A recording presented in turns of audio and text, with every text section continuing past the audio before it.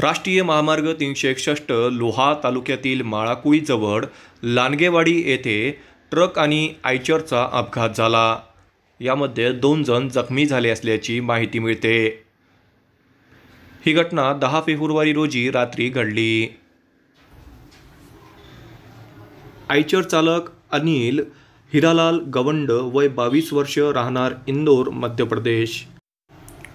व सोबतीला विजय भोरिया वय बत्तीस वर्ष राहणार इंदोर.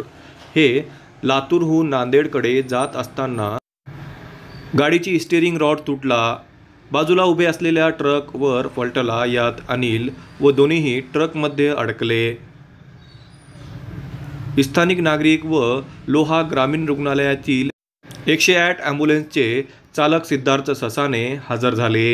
माळाकुळी ग्रामीण प्राथमिक आरोग्य केंद्रावर असलेले चालक अतिश कांबळे हेही हजर झाले होते. सामाजिक कार्यकर्ते परमेश्वर मुरकटे यांनीही या घटनास्थळी हाजरी लावली होती.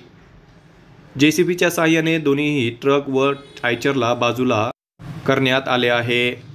जखमींना नांदेड येथील शंकरराव चव्हाण शासकीय वैद्यकीय रुग्णालयात उपचार सुरू आहे.